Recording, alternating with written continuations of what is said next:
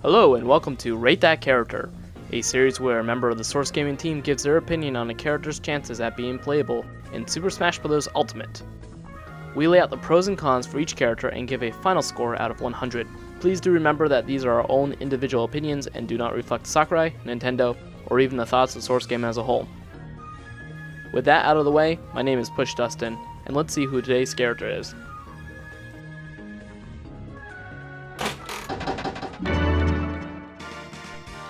Henshin a go go, baby! Uh, sorry, wrong game. Today we'll be looking at Captain Rainbow. Captain Rainbow is the star of the Japanese exclusive Captain Rainbow game.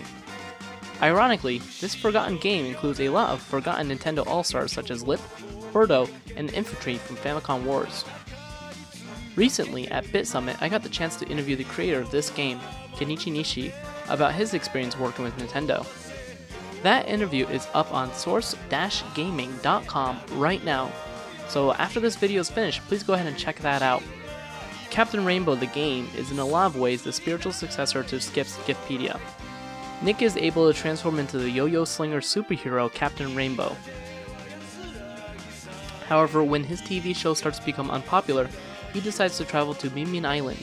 Min Island is rumored to be a magical place where people can have their dreams realized. Joining him on this journey are a variety of minor Nintendo characters, and a dildo. But let's go over the pros and cons of this superhero and see if his wish will come true. As far as pros goes, there isn't much. The game is fully owned by Nintendo, so if Sakurai wanted to use Captain Rainbow or any of its content, there wouldn't be any issues. Also, Captain Rainbow has had some representation in Smash. The game has gotten multiple trophies, and in the recent Smash for Wii U, Captain Rainbow's Asate Kimi wo Naru was featured as a song for Little Mac's Punch Out stage. I believe the English title for that is Tomorrow's Passion. But there are a lot of cons, and the cons weigh a lot. Captain Rainbow is a very niche game. Have it only released in Japan, the game has no recognition for most of the world.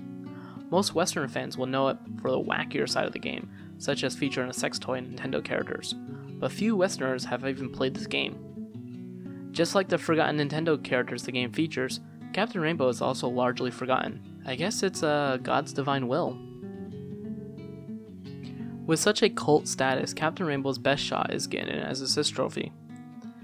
If Sakurai had reservations about Takamaru being a full playable character in Smash due to Westerners not knowing who he is, Captain Rainbow also has a very low chance.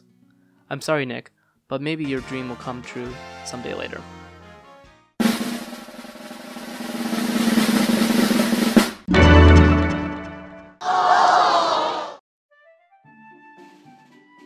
Thank you for watching today's Rate That Character. If you like this video, then give us a like and share it with your friends. Let us know in the comments your thoughts on today's character, and give us a suggestion for a future character you'd like us to rate. I want to thank all of our patrons, in particular our super patron, the Duke of Dorks. A link to his channel can be found below. Make sure to hit that subscribe button so you can stay up to date and always remember to return to the source.